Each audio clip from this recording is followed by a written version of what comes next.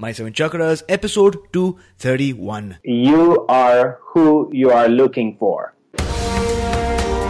The seven chakras, swirling vortices of energy, positioned throughout our body from the base of the spine to the crown of the head. For thousands of years, this ancient wisdom has been passed on from master to disciple. What are the functions of these energy centers? Could these chakras help you unlock your destiny and find your true purpose. Welcome to My Seven Chakras. And now, your host, Aditya Jai. Kumar. What's up, Action Tribe? AJ here, founder and host of My Seven Chakras, the show where we always dive deep into the ancient world to uncover nuggets of wisdom and will help you find your life's purpose. So, no matter what made you click on our podcast button today, realize that you have arrived at the correct destination, my friend. My goal with the show is to ensure that everyone who needs to hear this episode becomes aware of it, and I am depending on you for this. So make sure you share something about what you learned today on Facebook, Instagram, Pinterest, or Twitter using the hashtag My7Chakras and hashtag Action Tribe. That's hashtag My7Chakras and hashtag Action Tribe so that we're all over the interwebs. And if you haven't downloaded our official reading list already, then make sure you go to my7chakras.com forward slash reading list. That's my7chakras.com forward slash reading list.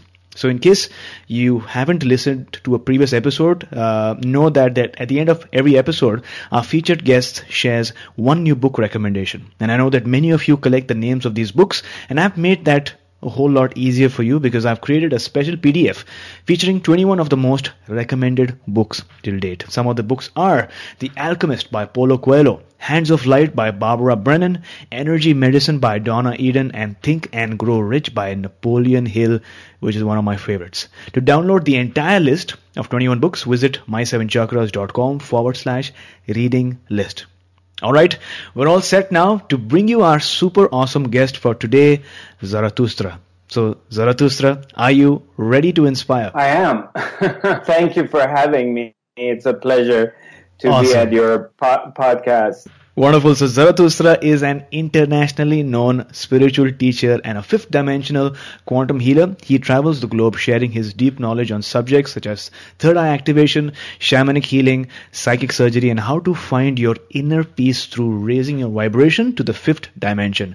After years of seeking and visiting many spiritual masters and healers, Zarathustra came to the realization of that which we seek resides in our own hearts. He has created a unique blend of teachings from East and West and is able to transmit his understanding of the Absolute to his audience. Zarathustra's healing and self awakening path began at the age of 21. He studied different schools of mysticism such as Sufism, Buddhism, and Hinduism and shamanism and was led to a number of different profound teachers and healers, including Osho, Poonjaji, aka Papaji, and Ammaji the Hugging Mother, and John of God.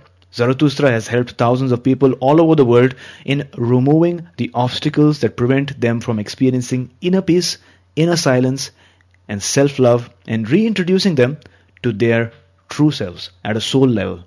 So, Zarathustra, welcome to our show, and thank you so much for joining me. Uh, thank you for having me. It's my pleasure. Awesome. So let's begin with some inspiration. My question to you is what is your favorite inspirational quote and how does that apply in your day to day life? Well, uh, my favorite inspiration quote is, You are who you are looking for. Uh, that which uh, we're seeking is resides within ourselves. And, and this is the very uh, inspirational quote that I always share with my audience. And if somebody really pays pay attention, um, they it, it, could be a little bit shocking. It uh, catches your uh, attention immediately as far as uh, what do you mean you are who you are looking for. And it does trigger something and activate something within us. Wonderful.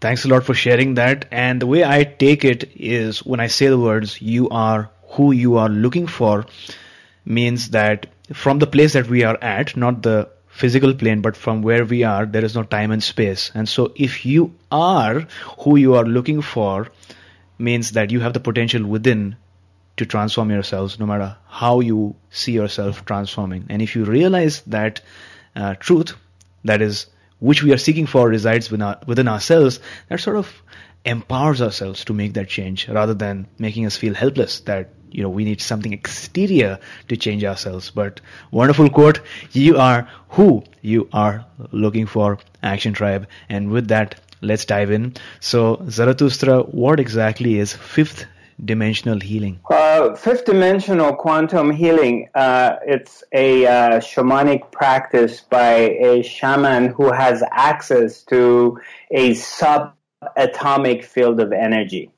And uh, and basically, the way it operates is by raising our vibrations to a higher frequency.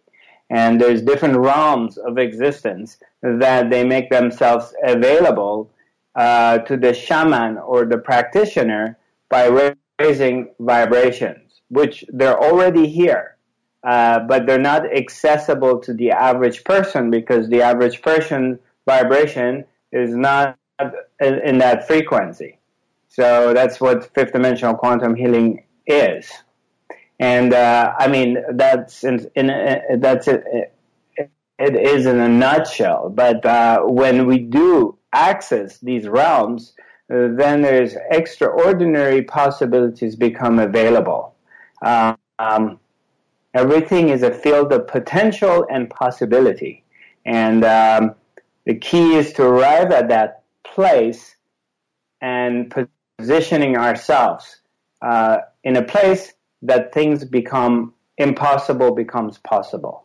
And that's what fifth dimensional quantum healing is basis on. Got it. Thanks for sharing. Like you mentioned, it's a shamanic practice to access that subatomic energy field, and that is done by raising our vibration. Usually, the shaman who is, I guess, trained in raising his or her vibration. Uh, but but when we access that realm, we access extraordinary powers. Is, is that what you're saying, or abilities? So, could you uh, you know talk to us a bit more about what are the uh, possibilities that lie for us once we are able to access this this field? Yeah.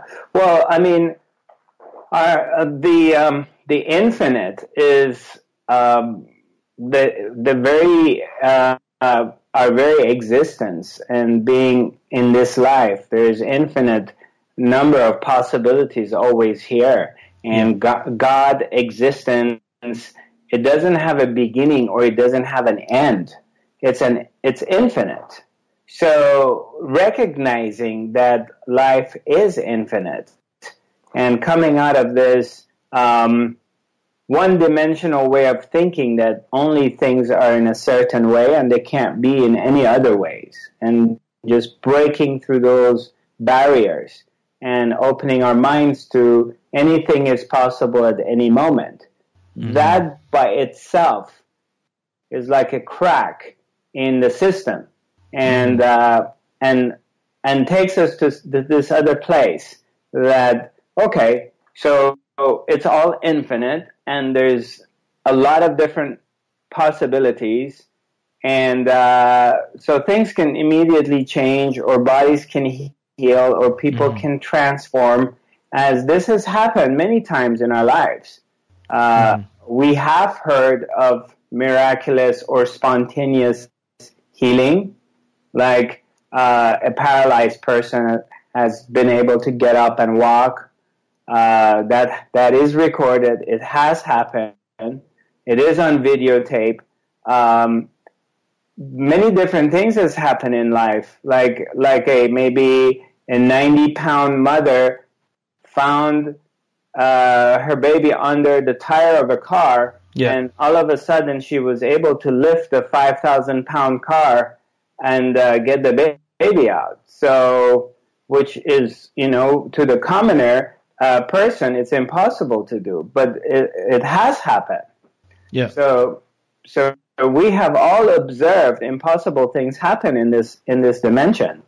Uh, it's just to be open to it, basically. Got it. So I guess, uh, the, and I've heard that story as well. That really inspiring story of how the mother uh, protected and saved the baby by tapping into this field and generating strength that she could not have in a normal scenario, right? So I'm guessing that was more of a chance, but through this practice, people are able to tap into this field and have more of these incidences. Is that correct? Yeah. What what happens is actually uh, we do a series of active meditations. Okay. And through doing these active meditations, it, it helps the participants to quiet their mind.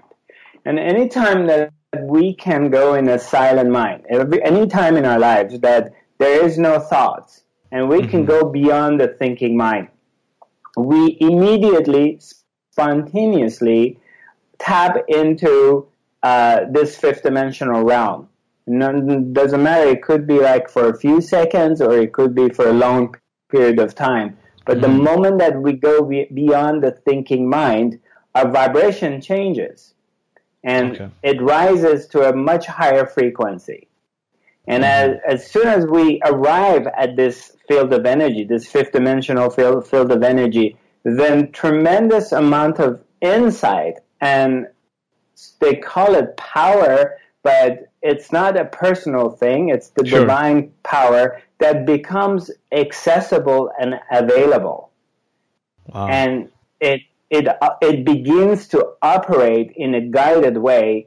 Uh, it actually guides us rather than us thinking that oh, okay, I can access this power and I can manipulate it and I can use it for personal gain. But there's no such thing. It does become available and it does its thing for a higher purpose. That's wonderful. Now, another question I had is uh, could you talk to us about what is third eye activation? Yeah, third, third eye activation is uh, we have to actually go a little bit further back. Means sure. that what is the third eye? And when we're referring, and a lot of us have heard about third eye, third eye, but a lot of people don't know. Uh, okay, we do have a third eye, but where is this third eye? This third eye is actually the pineal gland or the pineal gland. Some people pronounce it pineal mm-hmm. gland. Some call it pineal gland. I like pineal gland better. And this, the, this gland, which is very small, it's in the size of a green pea. And it's shaped like a pine cone. And that's why they call it pineal gland because of its shape. Mm-hmm. It, it, looks like a pine cone. And this bitty little gland is tucked in, in between the two uh, hemispheres of the brain. It's not a part of the brain, it's above the brain, but it's in between the two hemispheres of the brain. Sure. And and when scientists originally re- recognized that there is a gland there, and they dissected this gland, they also discovered that there's a lens, a retina, and a cornea in this gland. And so so they call it the third eye. But there's another significant part of this gland is that this gland, um, first of all, it's bioluminescent. It does get activated if you direct light to it and in a form of energy and it awakens. So, and it gets activated. But what does this mean and what's in it for me? Sure. And what's in it for, for me is that when this gland gets activated, it produces a substance called DMT, dimethyltryptamine. It does also secrete a substance called melatonin that mm-hmm. majority of people are aware of it, and that is for regulating our sleep pattern.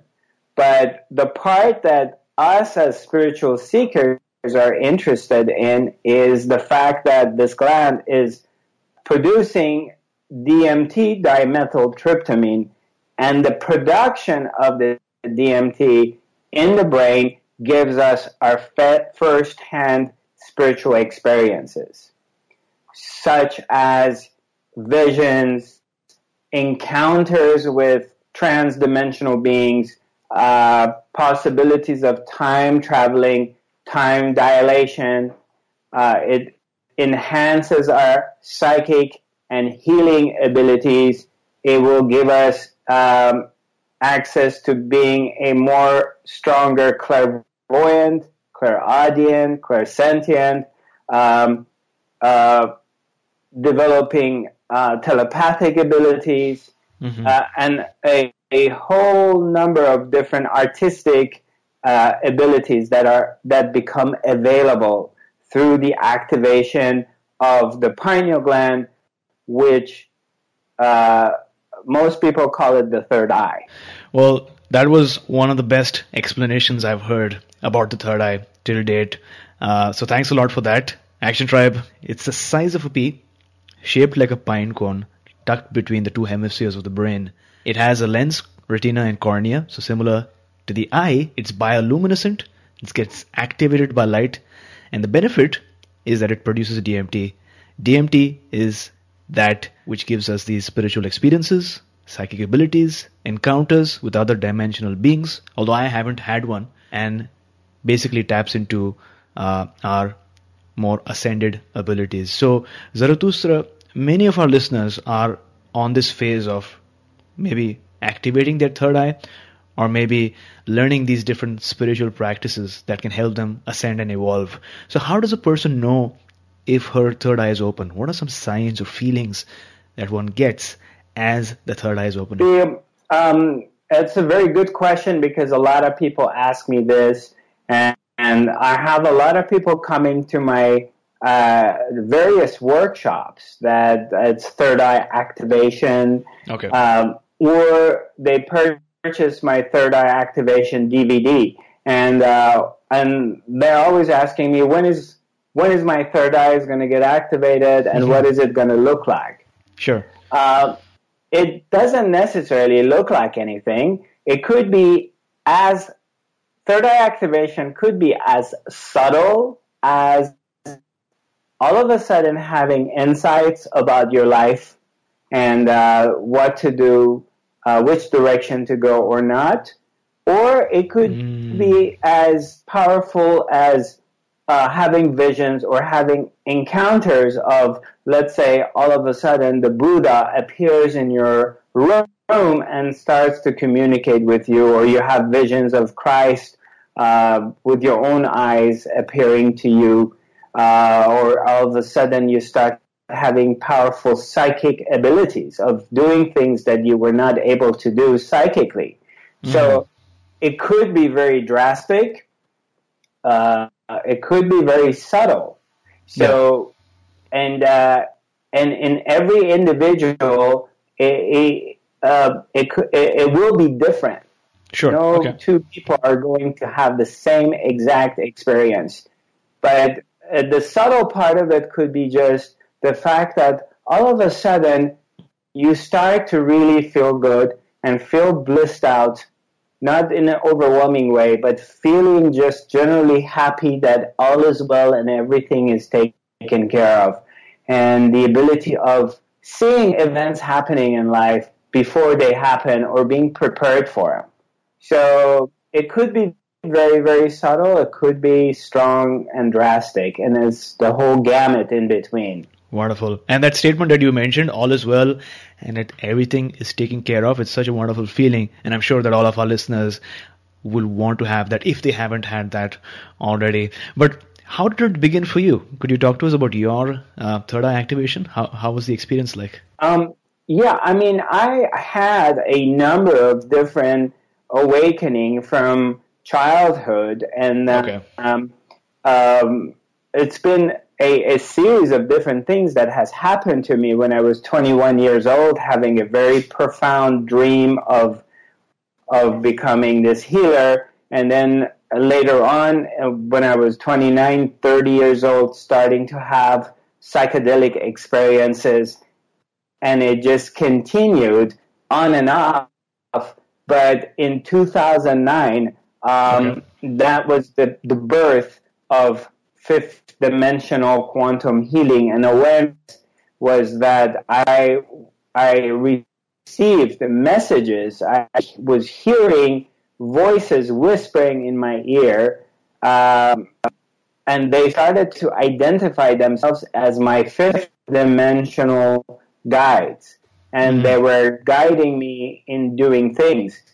But in a nutshell, make the whole long story short, Yeah. is that some sometimes in between May of 2009 to July of 2009, I in a of nine weeks, nine I had two three week downloads by my fifth dimensional guides, and uh, the first three week download was that they activated my right hand and they turned my actually both hands, but my right hand turned into a high frequency transmitter.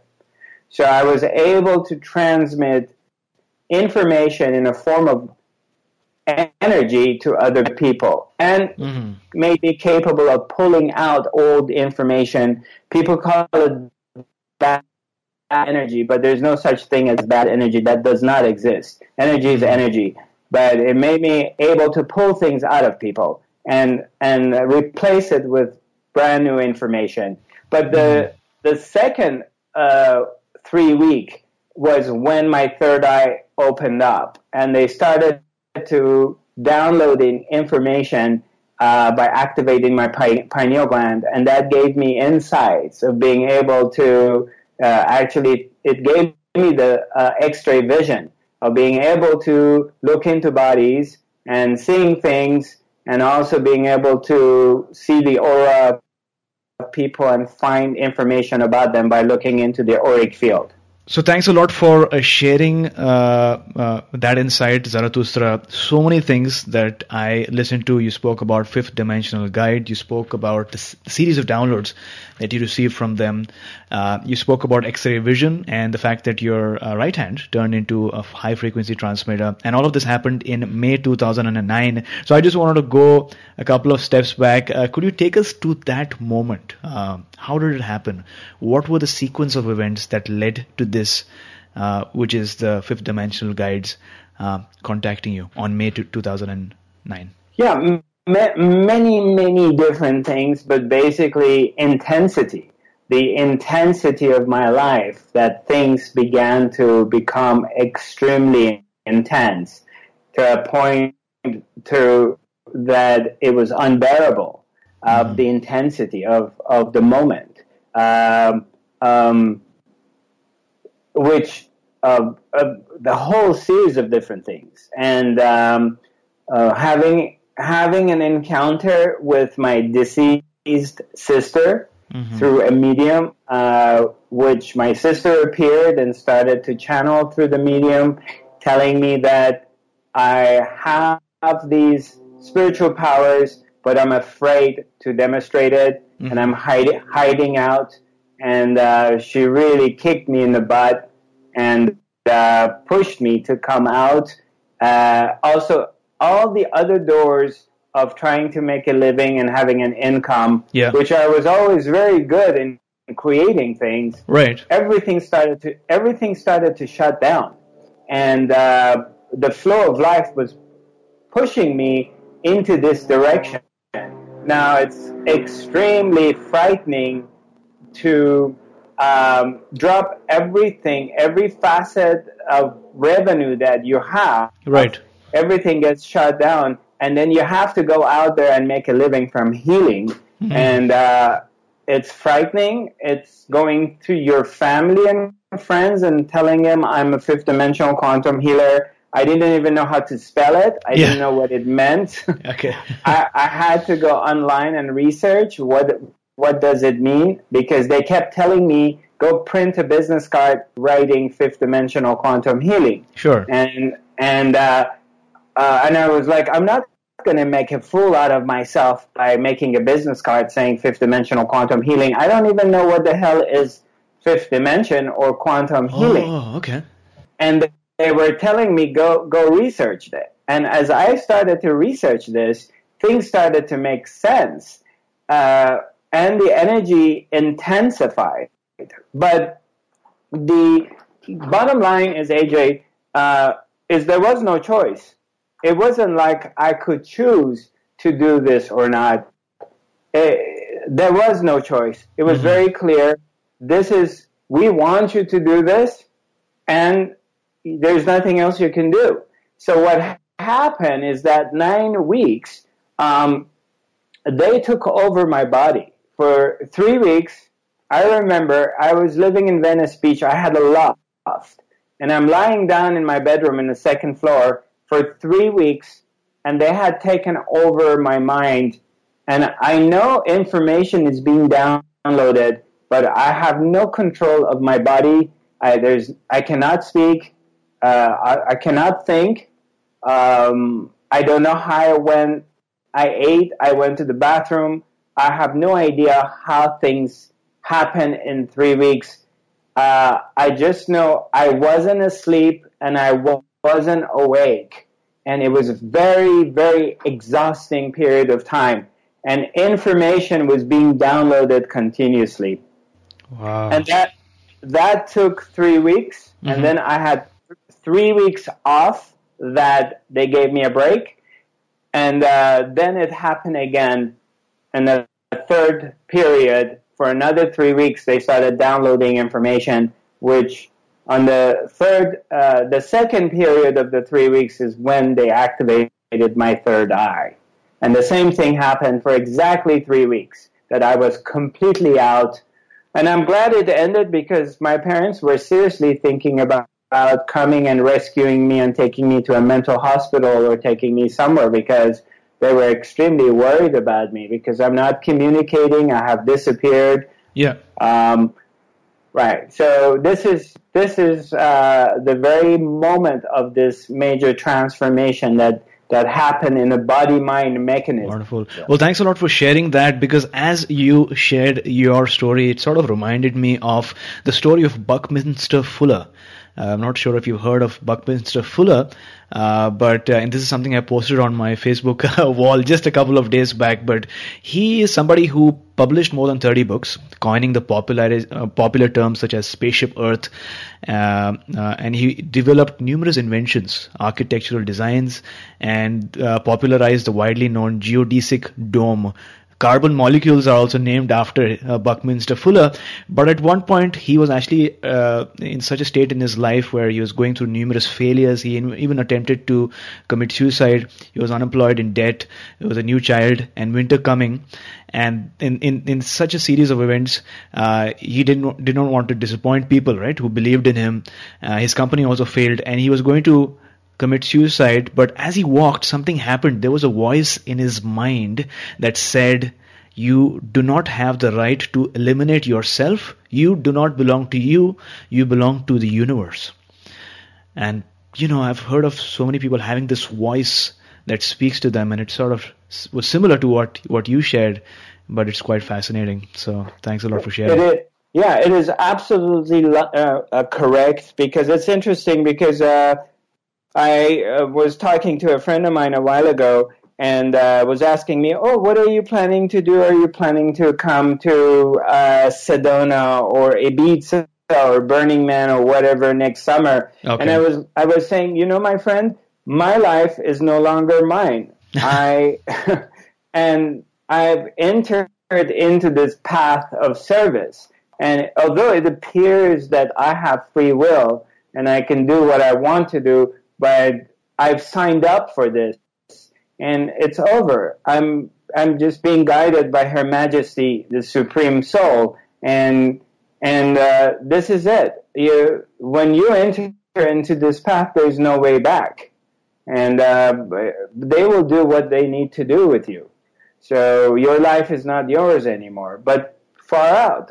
What a nice way of giving your life up if you're going to give it to God. It's so amazing. That's so amazing. So you also teach people how to touch, cleanse, and restore the auric field, right? So for someone who hasn't heard about this before, what exactly is the auric field and why do we need to cleanse and restore it? Uh, again, before I answer that question, I, I go have to go one step uh, uh back. Sure. That this planet that we live on is a planet of energy, and uh, it's alive, and it has a pulse, uh, and has a breath, and uh, in quantum physics has proven that there is no solid matter. the solid matter that you're touching, uh, it's dense energy in a very dense frequency. So um, the auric field um, of human being, we since our bodies is an energy field, an energy system, it does have uh, an energy a field, invisible energy field around it that we call it the aura. And it's very actually easy to feel and to touch it. And by the right guidance, we can restore it. So in my fifth dimensional quantum healing training program in level one, the first thing on the first day that, that we learn is how to feel and touch the auric field. Mm-hmm. And I have not had one student up to this point that hasn't been able to touch the auric field in the first two hours that I work with them. Every single person from any age, uh, religion, background, race, uh, social status, economic status, uh, whether they have spiritual spiritual background or not, do feel their auric field, energy field in the first two hours that I work with them. It's so in this energy system, this field, uh, it surrounds us. It can uh, expand or contract. It can change its colors. Mm-hmm. Uh, it, there's a it, there's a wavelength to it that it's visible uh, if we train ourselves. And health issues and emotional issues always begin into this field. If this field is disturbed, then it begins to manifest in our bodies and emotional body. Got it, got it.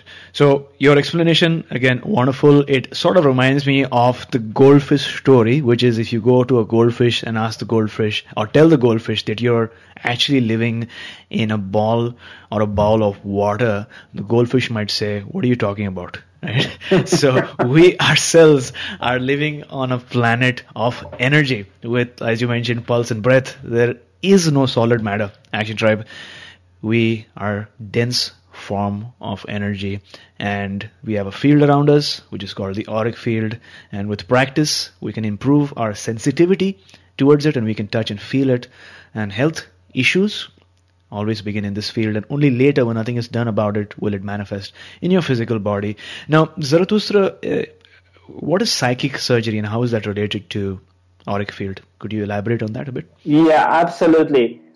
Uh, there is different forms of psychic surgeries in different cultures. Uh, okay. the psychic surgery that i practice or which is available to me is an energetic surgery uh, which uh, again through raising my vibration to a higher frequency and raising the vibration of the room with the participants in, in much higher frequency. What happens is that as we equally raise our vibrations uh, to these higher realms uh, things become less dense.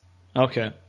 And then what happens is that emergence begin to take place. For example, if I use my hand and I put my hand on someone's body, uh, the, the person will have an experience as if my hand has entered into their physical body and is maybe or could be similar to a feeling like a laser beam is cutting inside their body, is cutting through the tissue. Maybe it's shaving the, the bone, uh, removing or relocating the bones, uh, or maybe something is pulling out a tissue or a tumor or something that doesn't belong inside the body or toxins okay. coming out.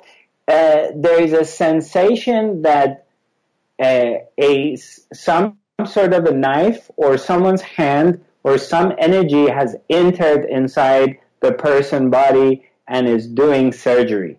That is the psychic surgery that I practice. But there, there are different cultures have their own, uh, like Filipino psychic surgeons, their physical hand enters into the, the person's body. So that's you know the most intense form of psychic surgery. So as I mentioned, there's various different sort of psychic surgery. Mm-hmm, mm-hmm. I don't know if I answered your question. No, no, no. Actually, you, you, you in fact did, and as you suggested, there are different forms of psychic surgery, and the intense form, which I believe is practiced uh, in places in Philippines, which is where when they do the psychic surgery, it feels like, or energetically, the hand actually goes into the body. And you've written about this. You said that your quest sort of took you to Philippines, where you were seeking psychic surgeons, which led you to meeting Alex Orbito. Firstly, and so so so so, uh, what took you there? Like, how did you get to know about the fact that okay, mm-hmm. in Philippines there are these type of psychic surgeons? Was it something you read, or somebody told you about it? Yes, I I read a book about it, and um, and well, I also met a psychic surgeon lady who worked on me in 1990 here in Los Angeles. Okay. And uh, I found it extremely fascinating. Uh, my, my life, I've been blessed by coming across some of the most powerful healers on the planet and avatars and seeing some um, some things that people would call miracles or definitely beyond the uh, five senses and the thinking mind. And I've been I've been lucky to see that. And uh, and obviously healing was a part of my destiny. So I was I was a sucker for this kind of work. okay. and and uh, very very curious. So when I did come across this psychic surgeon lady uh, who was trained by Filipino psychic surgeons and did work on me, that definitely arose my curiosity and, and I had the feeling that I have it in me. And uh, that started the whole journey of, of searching for healers and sure. psychic surgeons, and that's how I ended up going to Philippines.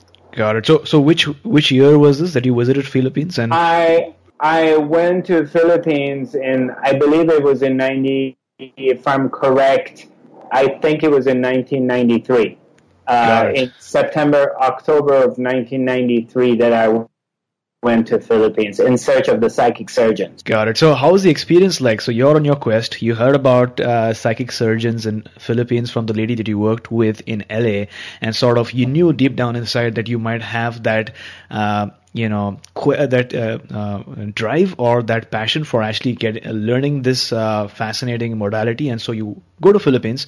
How's the experience like? You know was it easy to find uh, alex orbito? And, and what did you learn from right. Alex orbito was easy to find because he was he had a practice and a lot of people were going to see him. Okay. Uh, and from the book I had read from this lady that she connected with him and she was he guided him. I thought it's going to be the same same thing for me, but sure. never things are the same. And uh, so when I met him, he he he was nice to me, but he didn't have any interest in teaching me anything. Yeah. He uh, uh, he sent me to his brother who was who lived in another province, right. and uh, he was a reverend. And uh, and I ended up being living at his ranch for a short period of time, but very, very quickly I realized that um, um, it wasn't uh, it wasn't for me, and it didn't match the fantasy I had in my mind that I will okay. be discovered and and uh, I will be taken as an apprentice, and it just didn't flow in that way, and. Um, um and I, and then I, it was during my spiritual seeking, and uh, I was had already connected with Papaji in India. Uh, I was in Philippines for two months. I went to some of the psychic surgeons. Um, I, it just didn't click for me with them, and sure. they did, did they didn't take me and I didn't feel like I need to push it. So I, I just let it go and I went to India to sit with my guru. Okay, got it. So you had that experience in Philippines and then you decided to uh, move towards India. How was your experience like in India and how did you meet that guru? Because I also know that you at one point went to Dharamshala in India to observe one of Dalai Lama's personal physicians. So uh, how did you meet your guru? I'm really curious to know. I have to say I'm very impressed by your preparation and you really do your you, you really do your homework, AJ. and that's, Thank you. That's my very, honor. that's very impressive. I um, um, the meeting with Papaji Punjaji it was um, later on. I realized that all my life I, I was getting prepared to come across the master, and Papaji's message was basically silence, uh, and and uh, he only was teaching one thing: be quiet, be silent, which. Uh, is the very uh, basis of what I teach now, and and uh, it revolutionized everything for me. It was it has tremendous amount of, of, of transformation influence on me because um, it took me out of the duality. The Papaji came from a school of Advaita Vedanta, okay, which is the teachings and the practice of non-dual, non-duality. Mm-hmm. And I had very strong resonance with this teaching because in this teaching, uh, they don't give you anything to do. It's not like any particular practice. The only okay. practice is be quiet. And, uh, um, um, and I resonated with this because I saw and I noticed it that it just immediately took me to this very unified field of of love, of silence, of quietness. And there was no, um, I, you know, I was a rebel all my life. Sure. And, uh, and I was anti any kind of organizations or anything structured such as you have to get up at five in the morning and do meditation or you have to be cleansing or you need to give up meat or alcohol or sex or whatever or shave your head and, and I, I was not into any of these things. I was always telling myself there has to be a guru that teaches uh, the lazy ways man to enlightenment. Okay. and and I did come across Papaji because he had no rules. And for mm. me, it was like this is my this is my guru.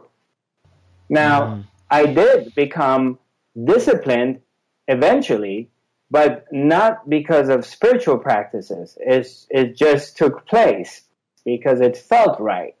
Uh, mm-hmm. so anyway, this is this was the uh, in a nutshell um, the meeting with this Sat Guru with this avatar, um, and and I did have some very powerful experiences with him.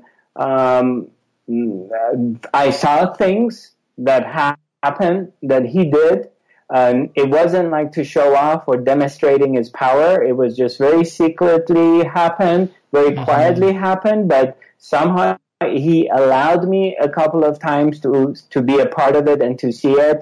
So I knew I was definitely at the right place. So thanks a lot for sharing that wonderful uh, story with us, Zarathustra. And what you said, uh, in fact, the sentence really hit me was, all your life you were preparing to meet the master. All your life, you were preparing to meet the master. Action Tribe, think about this sentence because I know many of you are trying different things, different modalities, maybe trying to reach out to different mentors and as well. And if something doesn't work, uh, it might not be because of you. It might be just that you, you know your style, your your way of living, or, or your approach uh, seeks a different master or different mentor, or, or and uh, it's not the end of the journey. You you got to keep trying out different things because ultimately all your life you are preparing to meet that master. So Zarathustra, for someone listening to the show right now, right this very moment, what is that one action step that you'd like to recommend for our listeners?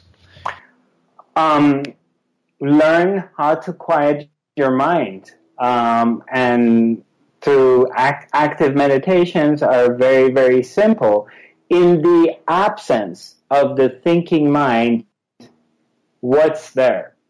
In the absence of the thinking mind, there is peace and there is silence. And when the mind is quiet, there's no problems. It's just when the mind is activated, problems arise. Because the mind cannot be, it's the nature of the mind that cannot be in silence. So it, it operates in future or the past. Mm-hmm. And, and that's where fear and anxiety and doubts dwell. But when there is no mind, it's just pure peace and bliss. So if somebody is able to get to this place, then they live a very happy life. So Action Tribe to access show notes for today's episode, visit my7chakras.com forward slash 231. That's my7chakras.com forward slash 231. When you look at yourself from a universal standpoint, something inside always reminds or informs you that there are bigger and better things to worry about. This is a quote by Albert Einstein. What does this really mean, Action Tribe? What comes to my mind is the idea of relativity. Everything in this world is either less or more depending on what you compare and contrast it with. I know that you have challenges and problems in your life, and I do too, but every once in a while it makes sense to take a few steps back to really look at how your problem compares with the bigger and better problems that are plaguing our world. When your focus shifts from you to the world around you, to service, everything changes. Action Tribe, the world has problems and it needs you to solve them. Problem like hunger, education, human relationships, whatever the problem is, the world needs you to select the problem and then go to work on it and begin solving it. Your current problem is there for a reason. It is there so that you can overcome it, change your life, and move on to bigger and better problems. So, Zarathustra, tell us about a time when you had to go through a challenge. How did you come across the challenge, and then what did you do? What steps did you take to overcome it? There's been many, many of them, AJ.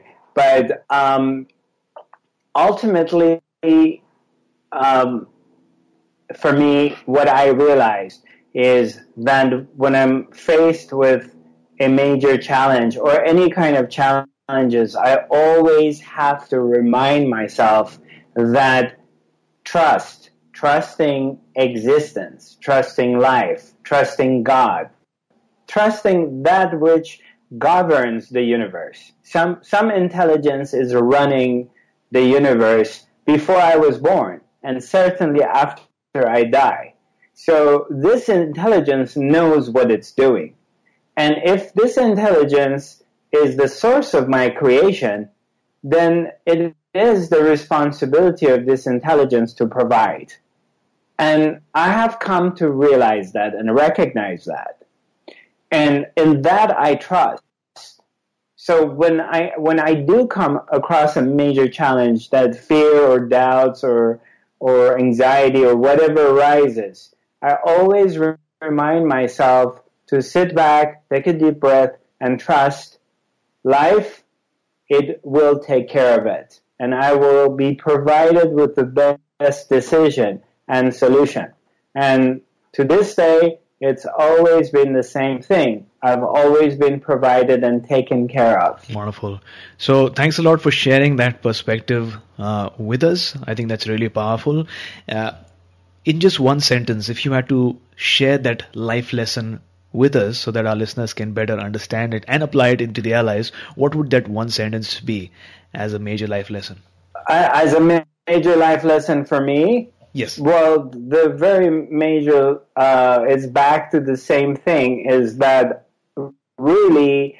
Uh, you mentioned it earlier about Albert Einstein by changing perspective. Perspective is that really all is all is well, and uh, in in this recognition of when when our mind becomes really quiet, and when we get out of our head uh, we begin to see the connectiveness of everything. And everything is a part of ourselves. So there is really no separation. And when we realize that there is no separation, it's all a part of myself, then mm-hmm. there's no fear, there's no boogeyman. And in this real recognition that there is no other, it's all myself, then there's tremendous amount of comfort and expansion and, and love that, that replaces the fear. And this is what I would share. Uh, maybe I didn't say it in one sentence. So, uh, in one sentence, I would say, all is well. Got it. Well, thanks a lot for sharing that with us. Action Tribe, are you learning some new ideas or concepts today? If you're loving the session, then make sure you hit the subscribe button on your device so that you don't miss out on future episodes.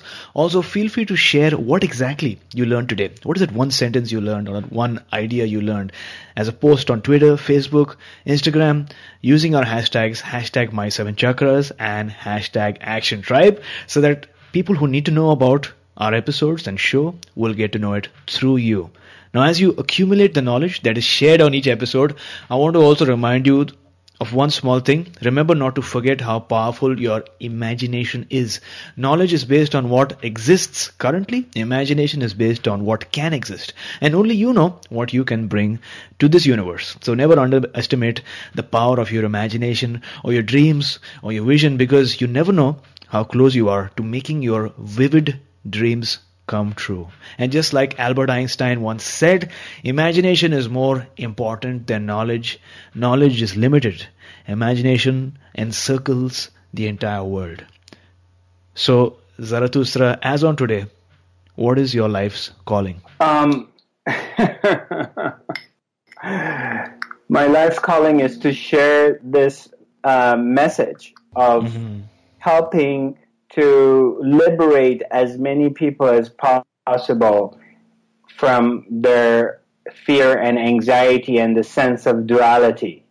Nothing gives me as much joy that when I help people find inner peace and love within within themselves, within their own hearts. Sure. This is the highest joy that I get, and in that I see healing takes place, whether it's physical or it's emotional or it's spiritual understanding. When, when I'm able to direct people to recognize the presence of the divine being within them, themselves, within their own hearts. That's my life calling, AJ. Wonderful. Thanks for sharing. Now, today you've shared with us many moments, many stories, uh, many concepts, and things that you experienced. But if you had to select one defining moment that really changed your life, what would that be? Hmm.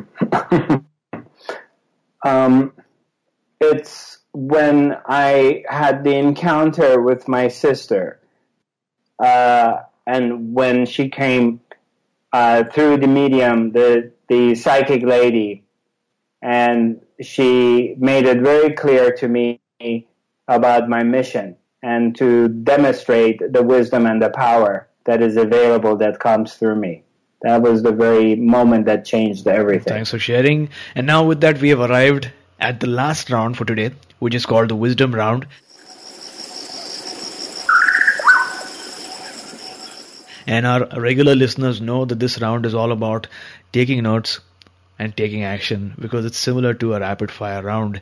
So, what is the best advice that someone has ever given you, Zarathustra? Um, the best advice that I've I got is from my father, my deceased father, and he encouraged me to follow my heart and follow my joy and and keep going, doing what I love to do. Because in following your joy and following because many people, unfortunately, I've been there mm-hmm. too.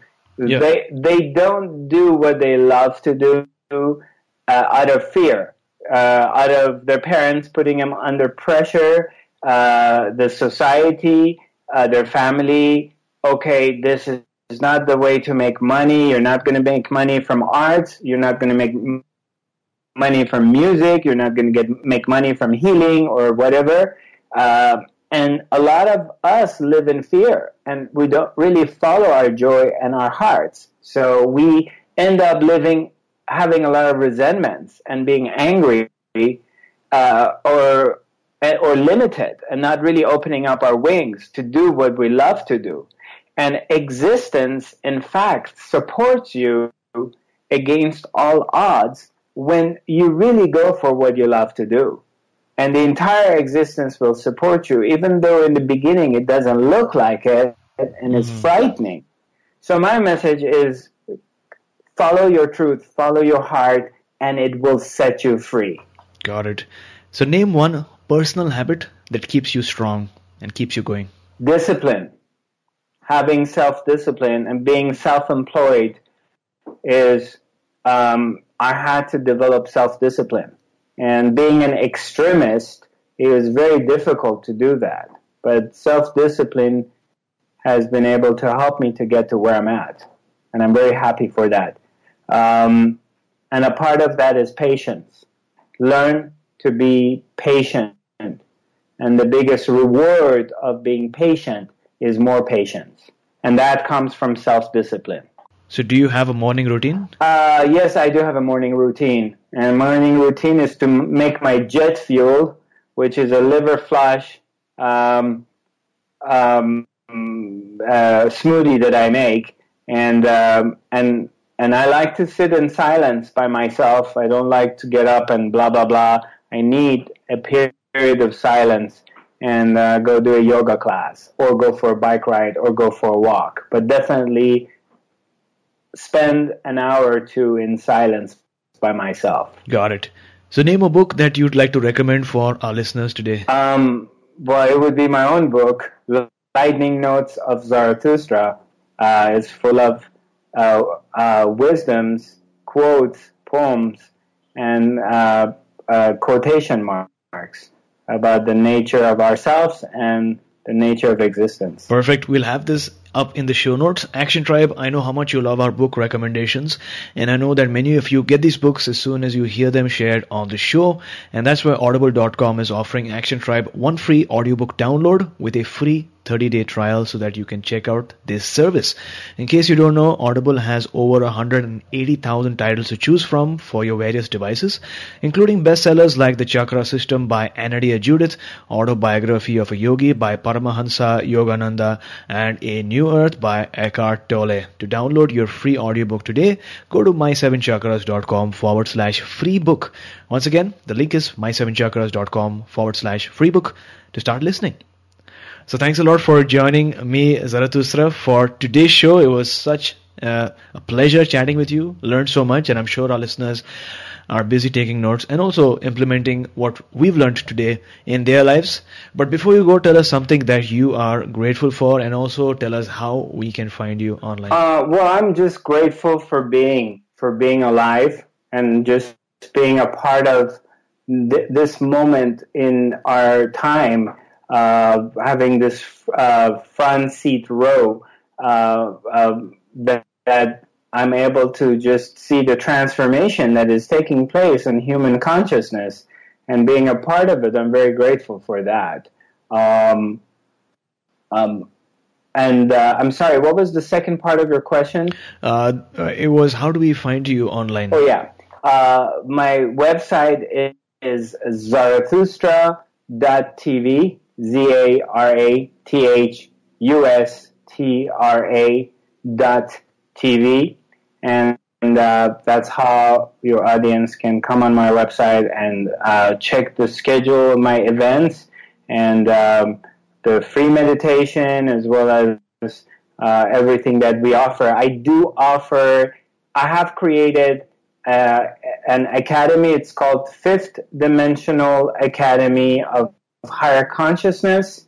I do broadcast for one and a half hour every Tuesday from 10 in the morning till 11:30 Pacific Standard Time. It's a free webinar. We do uh, a series of active meditations. Then there's a transmission, and then there's the Q and A and everyone is welcome to come and join us and there's no obligation. You can come in and leave as you wish. So there you go. Action tribe zarathustra.tv z-a-r-a-t-h-u-s-t-r-a dot tv am i correct in the spelling? Uh, z-a-r-a-t-h-u-s-t-r-a dot tv Zarathustra. So there you go, Action Tribe. Uh, Zarathustra, thank you so much for joining me on today's show, talking to us about the power of fifth dimensional healing and taking us one step closer to a human revolution. You are listening to My Seven Chakras. Go to my, S-E-V-E-N, chakras.com. Download your free